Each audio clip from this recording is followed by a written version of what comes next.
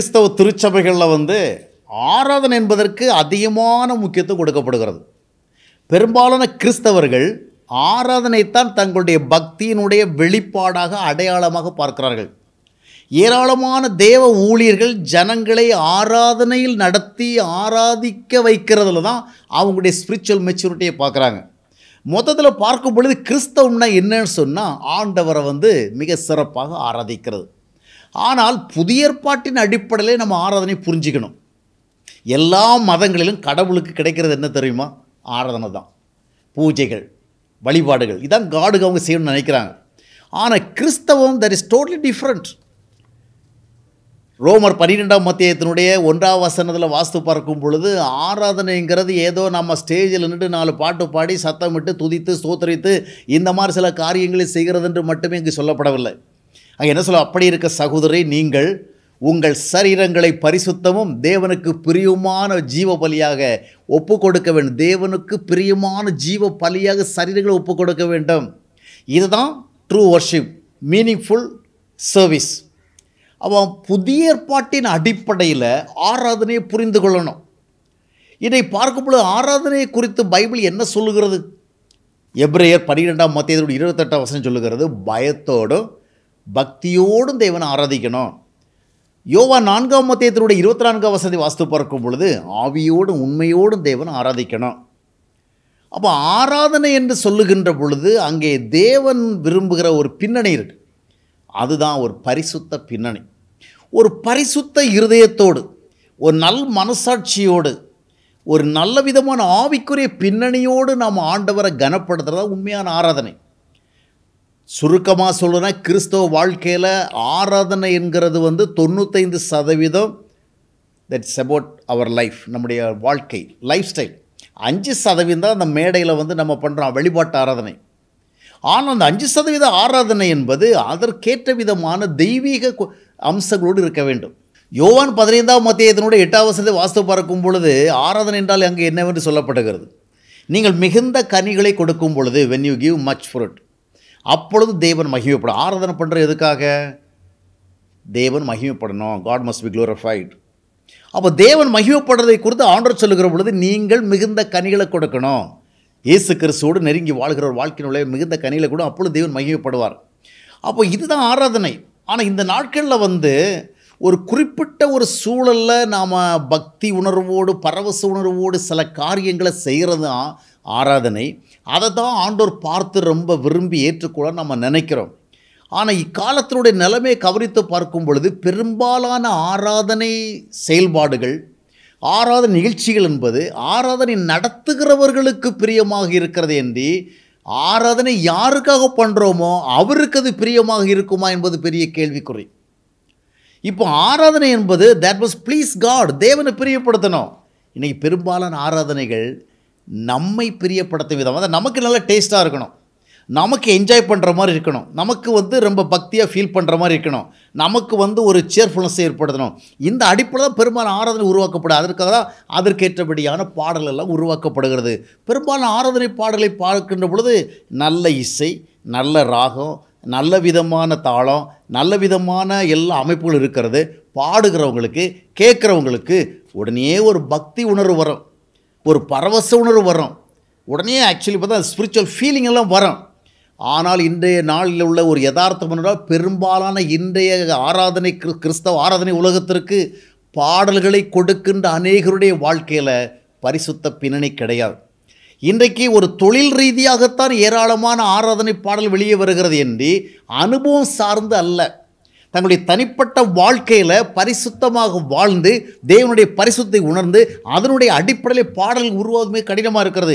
ஏதோ ஆராதிக்க விரும்புகிற மக்களுக்கு நல்ல உற்சாகமாக ஆராதனை செய்கிறதுக்கு நாம் பாடல் சப்ளை பண்ணணும்னு சொல்லி பாடலை உருவாக்குறார்கள். ஒன்றை புரிந்து கொள்ள வேண்டும். சில விஷயங்கள் நமக்கு ரொம்ப என்ஜாய் பண்ணுற மாதிரி இருக்கும். ரொம்பவும் வந்து நாம் அதில் மகிழ்ச்சி அடைவோம் ஆனால் ஒரு விஷயம் நமக்கு பிரியம் என்பதை விட நாம் இதை யாருக்காக செய்கிறோமோ அவருக்கு அது பிரியமாக இருக்கணும்னு பார்க்கணும். இல்லை என்றால் அதனுடைய வேல்யூ என்ன? அதுக்கு வேல்யூ குப்பை வேல்யூ தான் டஸ்ட் தான். நமக்கு அது கிராண்டாக இருக்கலாம் கிரேட்டாக இருக்கலாம். உதாரணமாக பார்த்தீங்கன்னா ஒருவர் வந்து ஒரு உதாரணமாக ஒரு நல்ல பிரியாணியை விரும்புகிறார் தலப்பாக்காட்டு பிரியாணி வச்சிங்க ஸ்டார் பிரியாணி வச்சிங்க. இல்லைன்னு சொன்னால் நம்ம வெஸ்டர்ன் கல்ச்சரில் உருவான பாரம்பரிய பார்பிக்யூ அந்த மாதிரி ஏதாவது வந்து ஒரு என்வி ஐட்டம்னு வச்சிங்க. இது ரொம்ப டேஸ்டி ரொம்ப காஸ்ட்லி ரொம்ப எல்லோரும் என்ஜாய் பண்ணுவாங்க. ஆனால் இது வந்து நமக்கு ரொம்ப பிடிக்குது. நல்ல பிரியாணி சூப்பர் பிரியாணி நல்ல பார்பிக்யூ நல்ல கிரில் இந்த மாதிரி ஏதாவது பண்ணால் தந்தூரி அதுன்னு வச்சுருக்கோம் ரொம்ப டேஸ்ட் எல்லாருமே விரும்பி சாப்பிடுவாங்க. ஆனால் இதை வந்து நீங்கள் ஒரு பியூர் வெஜிடேரியன் கிட்ட கொண்டு கொடுத்தீங்கன்னா அவர் அதை என்ன செய்வார்? ஒரு பியூர் வெஜிடேரியன் அதாவது அவர் மாம்ச உணவில் தொட்டு கூட பார்க்க மாட்டார். பக்கத்தில் கூட வர வைக்க மாட்டார். அவர் அதை அந்த மாதிரிப்பட்டவருக்கு நீங்கள் ஒரு உங்கள் விருப்பத்தில் உங்களுக்கு இது பிடிச்சிருக்குது அப்படி சொல்லிட்டு அவர்கிட்ட கொண்டு கொடுத்தா அந்த பிரியாணி எங்கே போகும்? அந்த பார்பிக்யூ எங்கே போகும்? அந்த கிரில் எங்கே போகும்? அந்த தந்தூரி எங்கே போகும்? அந்த நூடுல்ஸ் எங்கே போகும்? குப்பைக்கு தான் போகும். ஐயோ இவ்வளவு காஸ்ட்லியான பிரியாணி காஸ்ட்லியான பார்பிக்யூ இதை குப்பையில் போடுறது? ஆமாம் அவருக்கு அது ஏற்றுக்கொள்ளுகிற த அடிப்படையில் இல்லைன்னா த அந்த அக்செப்டபுளாக இல்லைன்னு சொன்னால் அது குப்பைக்கு தான் போகும். நமக்கு அது எவ்வளோ வேல்யூவாக இருந்தாலும் சரி நமக்கு இது எவ்வளோ டெலிஷியஸாக இருந்தாலும் சரி அது அவருக்கு பிரியமில்லை அது குப்பைக்கு தான் போகும். இன்றைக்கு நிறைய கிறிஸ்தவ உலகத்தில் நடைபெறுகிற ஆராதனைகள் எல்லாம் நமக்கு பிரியாணி நமக்கு பார்பிக்யூ நமக்கு கிரில் நமக்கு ரொம்ப டேஸ்டி ஃபுட்டு ஆனால் ஆண்டவர் அவைகளை பார்க்கும் பொழுது அவைகளை குப்பைகளாகத்தான் எண்ணுவார். என்ற வேதாகமத்தினுடைய வசனங்கள் அதைத்தான் சொல்லுகிறது. உதாரணமாக அஹ், தீர்க்கதரிசனி புஸ்தகம் இருபத்தொன்பதாம் மத்தியத்தினுடைய பதிமூன்றாம் வசனத்தை வாசிக்கும் பொழுது அவர்கள் தங்கள் உதடுகளினாலே என்னை கனம் பண்ணுகிறார்கள். அவர்களுடைய இருதயமோ எனக்கு தூரமாக இருக்கிறது. ஏசாய தீர்க்கதரிசி புஸ்தகம் இருபத்தொன்பது பதிமூணில் அதை பார்க்குறோம். இப்போ பாருங்கள் இவங்க ரொம்ப ஆராதனை பண்ணுறாங்க ஆனால் ஆண்டவர் என்ன சொல்கிறாரு இது வந்து உதடுகள் தான் கனம் பண்ணுது. இருதயம் தூரமாக இருக்குது அப்போ இந்த ஆராதனை ஆண்டவர் விரும்புவாரா? ஆமோசிக்க தரிசன புஸ்தகம் ஐந்தாம் மத்தியத்தினுடைய இருபத்தொன்றாம் வசனம் சொல்லுகிறது உங்களுடைய ஆசரிப்புகள் மேல் எனக்கு பிரியமில்லை. உங்கள் பண்டிகைகளெல்லாம் நான் பகைத்து வெறுக்கிறேன் அப்படின்னார். பாருங்கள் ஆராதனை அவங்களுக்கு பிடிக்குது ஆண்டவருக்கு பிடிக்கல. ஏன்? ஆராதனை செய்கிற பின்னணி ஆராதனை நடத்துகிற பின்னணிக்கு பின்னணியில் இருக்கின்ற விஷயங்கள் ஆண்டவர் பிடிக்கல. ஒரு பரிசுத்தமான பின்னணி இல்லை. தேவனை புரிந்து கொண்டதன் அடிப்படையில் செயல்படவில்லை. எப்போ? எனவே வெறுக்கிறார். இதைத்தான் ஏசாய தீர்க்கதரிசி புஸ்தகத்தினுடைய ஒன்றாம் மத்தியத்தினுடைய பத்தாம் வசனத்திலிருந்து இருபதாம் வசனம் வரை உள்ள பகுதியில் வாஸ்து பார்த்தீங்கன்னா நமக்கு ரொம்ப ரொம்ப பிரியமாக இருக்கிறது ஆண்டவருக்கு குப்பையாக இருக்கிறது. இதையெல்லாம் பார்த்து பார்த்து நான் வெறுத்து போயிட்டேங்கிறார். எனக்கு இது அரோசியமாக இருக்கிறதுன்னு சொல்லுகிறார். ஏசாய் தீர்க்கதரிசி புஸ்தகம் ஒன்றாம் மத்தியத்துடைய பத்தாம் வசனம் இருபதாம் வசனம் வரை உள்ள வசனங்களை வாசித்து பாருங்கள். அருமையான ஆராதனை அருமையான வழிபாடு அருமையான ஆசிரிப்புகள் அருமையான காணிக்கைகள் அருமையான ஜெபங்கள் எல்லாம் அருமையாக நடக்கிறது. ஆண்டவர் சொல்லுகிறார் இதில் எதுலேயுமே எனக்கு பிரியமில்லை. அப்போ குப்பைகளாக அவைகள் மாறுகிறது. நம்முடைய பார்வையிலே சரியானவைகள் ஆனால் தேவனுடைய பார்வையிலே குப்பைகள். இன்றைக்கி நிறைய பேர் பார்த்தீங்கன்னா காரில் ஏறின உடனே ஏதாவது ஒரு ஆராதனை நிகழ்வை பதிவு செய்து அந்த சீடியை போடுவாங்க. இல்லைன்னா ஏதாவது கிறிஸ்தவ ஆராதனை பாடலை போட்டு அதுலேயே ஜேர்னி பண்ணுவாங்க. என்ன நினைக்கிறாங்க? நம்ம ஆராதனை நிகழ்வு அப்படியே கேட்டுக்கொண்டே போனால் அதில் ஒரு ஆண்டோடைய ஆசீர்வாதம் இருக்கும். வாகனத்துக்கும் பாதுகாப்பு இருக்கும். இல்லை இதெல்லாம் ஒரு ஃபால்ஸ் ஐடியா ஃபால்ஸ் ஹோப் நாம் ஆராதனை பாடல்களை கேட்டுக்கொண்டே ஆராதனை வார்த்தைகளை கேட்டுக்கொண்டே போகும்பொழுது ஸ்பிரிச்சுவலாக ஃபீல் பண்ணலாம். ஆனால் நாம் எப்படி இருக்கிறோம் என்பது முக்கியம். நம்முடைய இருதயம் எப்படிப்பட்டது என்பது முக்கியம். நம்முடைய வாழ்க்கை எப்படிப்பட்டது முக்கியம்? நமக்கு அஹ், எங்கேயோ போகும் பொழுது எங்கேயோ உட்காந்துருக்கிற பொழுது ஆராதனை பாடல்கள் ஆராதனை நிகழ்வுகளை பதிவு செய்த அந்த ரெக்கார்ட்ஸ் ரொம்ப பிடிக்கும். இன்றைக்கி நிறைய பேர் பார்த்தீங்கன்னா ஸ்பிரிச்சுவலாக ஃபீல் பண்ணுறதுக்கு இந்த ஆராதனை ரெக்கார்டிங்ஸ் தான் அதிகமாக போட்டு பார்க்குறாங்க. இந்த ஆராதனை ரெக்கார்டிங்ஸை இப்போ வந்து நிறைய எல்லாமே கமர்ஷியல் ஆயிடுச்சு. அதை அதை சிறப்பாக இன்றைக்கு இருக்கிற டெக்னாலஜியை பயன்படுத்தி மியூசிக் இன்ஸ்ட்ருமெண்ட்ஸை பயன்படுத்தி நிறைய பேருடைய நல்ல டேலண்ட்ஸை பயன்படுத்தி அருமையாக ஏற்றப்படுகிறார்கள் ஆனால் ஆராதனை என்பது ஆராதிக்கிறவர்களோடு இணைத்து பார்க்கப்பட வேண்டிய ஒன்று. நாம் என்ன பாடுகிறோம் என்ன துதிக்கிறோம் என்ன ஸ்தோத்திரிக்கிறோம் என்ன ஆரவாரம் பண்ணுறவங்கள பண்ணுகிற நம்மை ஆண்டவர் இணைத்து பார்க்கிறார். இணைத்து பார்க்கும் பொழுது அவர் எதிர்பார்க்கிற பரிசுத்த அம்சங்கள் நம்மிடத்தில் இல்லை என்றால் நம்முடைய ஆராதனைகள் எல்லாம் எவ்வளோ சிறப்பாக இருந்தாலும் அவைகள் குப்பைக்குத்தான் சமமாக எண்ணப்படும். எப்படிங்க ஆராதனை குப்பையாக மாறும் அப்படின்னு நீங்கள் கேட்கலாம். எவ்வளவோ ஆண்டவருக்கு மகிமையாக நம்ம செய்கிறோம் பக்தியாக செய்கிறோம் அதை எப்படிங்க ஒரு கார்பேஜ் குப்பை டஸ்ட் அப்படிலாம் சொல்லுவீங்க அப்படின்னு நீங்கள் நினைக்க நினைக்கலாம். பாருங்கள் முதலாவதாக மனம் திரும்பாமலே ரட்சிக்கப்படாமலே மறுபிறப்பின் அனுபவம் பெறாமலே ஒரு பக்திக்காக தேவனை நீங்கள் ஆராதித்தால் அந்த ஆராதனை உங்களுக்கு பிரியமாக இருக்கும். ஆனால் ஆண்டவருக்கு அது ஒரு குப்பை. ஏன்னா மனம் திரும்பாதவருடைய ஆராதனையில் ஆண்டவர் மகிமைப்படுறது கிடையாது. ரட்சிக்கப்படாதவருடைய ஆராதனை ஆண்டவர் விரும்புறது கிடையாது. மறுபிறப்பின் அனுபவம் பெறாதவருடைய ஆராதனையில் தேவன் வந்து கனப்படுவது கிடையாது. அதை பண்ணுறவங்க வந்து பக்தியை ஃபீல் பண்ணலாம். இன்றைக்கி நிறைய திருச்சபையில் பாருங்கள் கலந்து கொள்ளுங்க நிறைய பேர் ரட்சிப்பே கிடையாது. மன திரும்புதலே கிடையாது. பரிசுத்த விருப்ப பரிசுத்தம் ஒரு விருப்பம் கிடையாது. தேவனுடைய பிள்ளைங்களுக்கு நிலைமை கிடையாது. ஏதோ நம்ம சர்ச்சுக்கு போகணும் கார்டன் ஒருத்தர் இருக்கிறாரு ஏசுநாடு ஒருத்தர் இருக்கிறாரு அவருக்கு நம்ம ஆராதனை பண்ண சொல்ல அந்த சர்ச்சுங்கிற இடத்துல இல்லை அந்த கோயிலுங்கிற இடத்துல வந்து ரொம்ப பக்தியாக நிறைய காரியங்களை செய்வாங்க. ஆனால் எவ்வளவு காரியங்களை செய்தாலும் மனம் திரும்பாமல் செய்தால் குப்பைகள். எனவே தான் இன்றைக்கு பெரும்பாலான திருச்சபைகள் ஆராதனை குப்பைகளை கொட்டுகின்ற இடங்களாக மாறிவிட்டது. எப்படி? அவரவர்கள் தங்களுக்கு நன்றாக இருக்கிறது என்பதற்காக தங்களுடைய பிரியத்தின் அடிப்படையில் வந்து இங்கே ஆராதிக்கிறாங்க. பாடுகிறாங்க துதிக்கிறாங்க ஸ்தோத்திரிக்கிறாங்க வழிபாடு செலுத்துகிறாங்க ஆனால் இவைகளெல்லாம் செய்கிற நம்மோடு இணைந்து தான் ஆராதனை பார்க்கப்படும் என்று நினையாதபடிக்கு மனம் திரும்புதல் இல்லாமலே ரட்சிப்பின் அனுபவம் இல்லாமலே கர்த்தருக்கு ஒப்பு கொடுத்த அனுபவம் இல்லாமலே தேவ வழிகளில் நடக்கிற அனுபவம் இல்லாமலே இவர்கள் இந்த காரியங்களை செய்கிறபடினாலே இன்றைக்கு திருச்சபைகள் பெரும்பாலான திருச்சபைகள் ஆராதனைகள் தேவன் விரும்பாத தேவனுக்கு அரோசிகமான தேவனுக்கு அறுப்பாக அருவருப்பாக இருக்கிற அந்த ஆராதனைகளை கொட்டுகிற குப்பை தொட்டிகளாக மாறிக்கொண்டிருக்கின்றது. மனம் திரும்பாதவர்களுடைய ஆராதனைகள் அந்த ஆராதிக்கிறவங்களுக்கு ரொம்ப அருமையாக இருக்கலாம். ஒருவேளை இதெல்லாம் ரெக்கார்ட் பண்ணிவிட்டு நம்ம யூடியூப்பில் போட்டு விட்டோம்னா அதை பார்த்து நிறைய பேர் என்ஜாய் பண்ணுவாங்க. அதை காரில் போயிட்டுருக்கிறவங்க வீட்டில் இருக்கிறவங்களாம் ரொம்ப ரசிப்பாங்க. ஆனால் ஆண்டவர் சொல்வார் மனம் திரும்பாத நீ என்னை ஆராதிக்கிறதுக்கு உனக்கு தகுதி இருக்குன்னு கேட்பார். அது ஒரு துர்வாசனை அவருடைய பார்வையில். அவர் அதை குப்பையில் தான் போடுவார். எனவே இன்றைக்கு பெரும்பாலும் திருச்சபைகளில் கொடுக்கப்படுகிற நடத்தப்படுகிற ஆராதனைகள் தேவனுக்கு கனத்தை கொடுக்கவில்லை. அவைகள்லாம் தேவனுடைய பல குப்பையாக கருதப்படுகிறது. எனவே குப்பைகளை கொட்டுகிற டஸ்ட்பின் மாதிரி இன்றைக்கு நிறைய திருச்சபைகள் மாறி இருக்கிறது. அதே நேரத்தில் இன்னொரு தி கூட்ட திருச்சபையினர் இதை கேட்கும் பொழுது என்ன நினைப்பாங்கன்னா ஆமாம்மா மனம் திரும்பாதவங்களுடைய ஆராதனையெல்லாம் குப்பை தான் ரட்சிக்கப்படாதவங்களுடைய ஆராதனைலாம் குப்பை தான் மறுபிறப்பை காணாதவங்களுடைய ஆராதனைலாம் குப்பை தான் பரிசுத்தாவி பெறாதவருடைய ஆராதனைலாம் குப்பை தான் அபிஷேகம் பெறாதவருடைய ஆராதனை குப்பை தான் ஒத்துக்கொள்வார்கள். ஆனால் ஒரு கூட்டம் பேர் என்ன சொல்கிறார்கள்? நாங்கள் ரட்சிக்கப்பட்டிருக்கிறோம் நாங்கள் மனம் திரும்பி இருக்கிறோம் நாங்கள் மறுபடியும் பிறந்திருக்கிறோம் நாங்கள் பரிசுத்தாவியை பெற்றிருக்கிறோம் நாங்கள் ஆவியில் நிரம்புகிறோம் நாங்கள் அபிஷேகத்தை பெற்றிருக்கிறோம் நாங்கள் வந்து ரொம்ப அக்கினி அனுபவங்கள்லாம் உள்ளவங்களாக இருக்கிறோம். அதனால் எங்களுடைய ஆராதனை ஆண்டவர் விரும்புவார். இல்லை. இன்றைக்கி நிறைய பேர் மனம் திரும்பி இருக்கிறேன்னு சொல்லுகிறார்களே ஒழிய மனம் திரும்புதலுடைய கனிகள் இல்லையே. யோவான் சொல்லுகிற பொழுது மனம் திரும்புதலுக்கு ஏற்ற கனிகளை கொடுங்க. கனிகள் இல்லாத மணலை வெட்டி அக்கறையில் போடப்படும்னா சொல்லப்பட்டிருக்கிறது.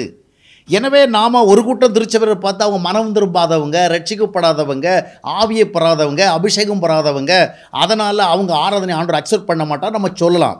ஆனால் மனம் திரும்பினோம் என்று சொல்லுகிற நாம் ரட்சிக்கப்பட்டோம் என்று சொல்லுகிற நாம் மறுபடியும் பிறந்தோம் என்று சொல்லுகிற நாம் ஆவியை பெற்றோம் என்று சொல்லுகிற நாம் அபிஷேகம் பெற்றதாக சொல்லுகிற நாம் ஆவியில் நிரம்பி வழிகிறதாக பல காலம் செய்கிறதா சொல்லு செய்கிற நாம் அந்நிய பாஷை பேசுகிற நாம் எப்படி வாழ்கிறோம்?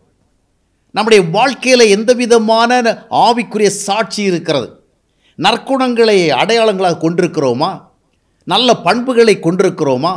பண ஆசை மேற்கொள்கிறோமா? பொருளாசை மேற்கொள்கிறோமா? உலகத்துக்கு ஏற்றபடி செல்லாதபடிக்கு வித்தியாசமாக இருக்கிறோமா? அப்படியெல்லாம் இல்லாதபடிக்கு எல்லாரை போல பண ஆசை எல்லாரை போல பொருளாசை எல்லாரை போல வந்து பெருமை எல்லாரை போல ஆணவம் எல்லாரை போல வெறுப்பு விரோதமைகளில் வைத்துக்கொண்டு மனம் திரும்பி இருக்கிறேன் ரட்சிக்கப்பட்டிருக்கிறேன் ஆவியில் நிரம்பி இருக்கிறேன் அந்நிய பாஷை பேசுகிறேன். இதெல்லாம் செய்தா இந்த ஆராதனைகளும் குப்பை தான் என்ன இவைகளும் மாய்மாலமான ஆராதனைகள். இருதயத்திலே சுத்தமுள்ளவன் பாக்கியவான் ஆண்டவர் சொன்னார். அந்த சுத்தம் இல்லாதபடிக்கு நாம் உற்சாகமாக ஆராதிக்கிறபடினால நாங்கள் மற்ற திருச்சபைகளோட வந்து ரொம்பவும் சிறப்பானவங்க. அவ்விதமாக அது ஒரு ஆவிக்குரிய பெருமை தானே என்று அதில் ஒன்றுமே பெஸ்ட்டு கிடையாது. எனவே மனம் திரும்பினோம்னு சொல்லி அதற்கேற்ற கனிகளை கொடுக்கவில்லை என்றால் இது மாய்மாலம். நம்மை பக்தி உள்ளவர்களாக நம்மை ரட்சிக்கப்பட்டவர்களாக மனம மறுபடியும் பிறந்த காண்பித்து கொண்டு நாம் உண்மையான அனுபவத்தை வெளிப்படுத்தவில்லை. மறுபடியும் ரோவர் பன்னிரெண்டு ஒன்று நீங்கள் நினைக்க வேண்டும். நாம் சரீரத்தை என்ன செய்ய வேண்டும்? ஜீவ பலியை ஒப்பு கொடுத்து முழுமையாக நம்ம தேவனுக்கேற்ற வாழ்க்கையை ஒன்று ஆவிக்குரிய வாழ்க்கை முறை நமக்கு இருக்கணும். இல்லை என்றால் ஆராதனைகள்லாம் குப்பைகள் தான் இன்றைக்கு புராதன திருச்சபைகள் மட்டுமல்ல பெரும்பாலான பெந்தை ஊச திருச்சபைகளும் ஆராதனை குப்பைகளை கொட்டுகிற இடமாகவே தான் இருக்கின்றது. அவர்கள் புதிது புதிதாக விதம் விதமாக வித்தியாசமாக மிக ருசியாக மிக ரசிக்கத்தக்க விதமாக ஆராதனை உருவாக்குகிறார்கள். ஆனால் பரிசுத்தம் கலவாதது உண்மை கலவாதது நேர்மை கலவாதது சத்தியம் கலவாதது எவ்வளோ அருமையாக இருந்தாலும் சரி எவ்வளோ சிறப்பாக இருந்தாலும் சரி அது ஆண்டவருக்கு குப்பை தான் அவர் அந்த குப்பையில் ஏற்றுக்கொள்ள மாட்டார். எனவே புராதன திருச்சபைகள் மட்டுமல்ல பெந்தைகோசை திருச்சபைகளும் இன்றைக்கு அந்த நிலவில் காணும் இவர்கள் ஆராதனையில் தான் அதிகமாக மேன்மை பாராட்டுகிறார்கள். ஆராதனையில் தான் தங்களுடைய பரிசுத்தத்தை பார்க்கிறார்கள். ஆராதிக்கிற விதத்தில் தங்களுடைய ஆவிக்குரிய அனுபவத்தை காட்டுகிறார்கள். நாங்கள் இவ்வளவு நடனமாடி குதித்து விழுந்து எழுந்து பல விதங்களில் ஆராதிக்கப்படல எவ்வளோ எங்கள் பக்தியை பாருங்கள். இல்லை கனி கொடுக்கின்ற ஒரு அனுபவம் இல்லாதபடிக்கு நாம் செய்கிற ஆராதனைகள்லாம் தேவனுடைய பார்வையில் குப்பை ஆராதனைகள் தான் எனவே இன்றைக்கு பெரும்பாலான திருச்சபைகள் குப்பை கொட்டுகிற இடங்களாக மாறி என்ன குப்பை? தேவனுக்கு பிரியமில்லாத ஆராதனைகள் என்ற குப்பைகளை கொட்டி கொண்டிருக்கிறோம். இன்றைக்கி ஆராதனை நிகழ்ச்சிகள் என்பது ஒரு வியாபாரமாக மாறி இருக்கிறது ஆராதனை பாடல் என்பது ஒரு வியாபாரமாக மாறியிருக்கிறது. இசை தாளந்துகளையும் பாடல் தாளங்களையும் ராகங்களையும் நாம் நல்ல தாழ்ந்து வைத்திருக்கணும். அவைகளை பயன்படுத்தி கேட்கிறவர்களுக்கு ஒரு பக்தி உணர்வு ஏற்படும்படிய பல காரியங்களை நாம் ஆர்டிஃபிஷியலாக செய்கிறோம். ஆனால் மனிதன் அதில் மயங்குவான். மனிதன் அதை பாடிவிட்டு ரொம்ப பக்தியாக இருக்குன்னு ஃபீல் பண்ணுவான். ஆனால் நாம் ஃபீல் பண்ணுறதுன்னு அடிப்படையில் இல்லை. ஆண்டவர்னு ஃபீல் பண்ணுறாரு அதான் முக்கியம். நமக்கு ரொம்ப சுவையாக இருக்கிற பிரியாணி பியூர் வெஜிடேரியனுக்கு நாட் அக்செப்டபுள் அது அவருக்கு ஒரு டஸ்ட் தான். அவர் தூக்கி குப்பையில் தான் போடுவார். அந்த விதமாக இன்றைக்கு ஒரு ஒரு பக்கத்தில் பார்த்தீங்கன்னா ஆண்டவரை கனப்படுத்துகிறோம் துதிக்கிறோம் உயர்த்துகிறோம். ஆனால் மனுஷனையோ தாழ்த்துக்கிறோம் மனுஷனையும் அற்பமாக எண்ணுகிறோம். இன்றைக்கு எத்தனையோ இடங்களில் எத்தனையோ திருச்சபையில் ஜாதி ரீதியான வித்தியாசங்கள் இருக்கிறது. இந்த ஜாதியினர் தான் இந்த சபைக்கு வர முடியும் அந்த ஜாதியினர் அந்த சபைக்கு தான் போக முடியும். இந்த ஜாதியினர் இங்கே வந்தாலும் அவர்களை ஒரு விதமாக க கவனிக்கிற பலவிதமான காரியங்கள் எல்லாம் இருக்கிறது.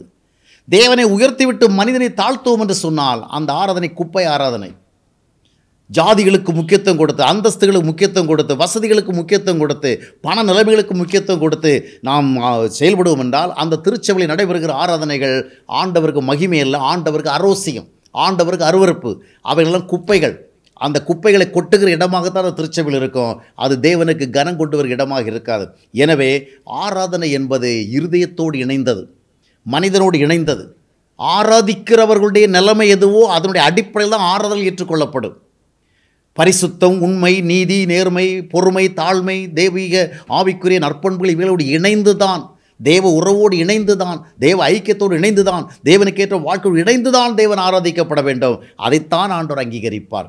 மற்றவைகள் எவ்வளவு அருமையாக இருந்தாலும் எவ்வளவு பக்தி உணர்வை நமக்கு கொடுத்தாலும் ஆண்டவருடைய பார்வையில் அவைகள் குப்பைகள் அவைகள் தூக்கி வீசப்படும் என்று ஏற்றுக்கொள்ளப்படா. எனவே நம்முடைய இருதயம் எப்படி இருக்கிறது என்பதை நாம் ஆராய்ந்து பார்த்து தேவனுக்கேற்றபடியாக நம்முடைய இருதயத்தை வைத்துக்கொண்டு ஆண்டவரை ஆராதிக்க வேண்டும். அதைத்தான் ஆண்டவர் விரும்புகிறார்.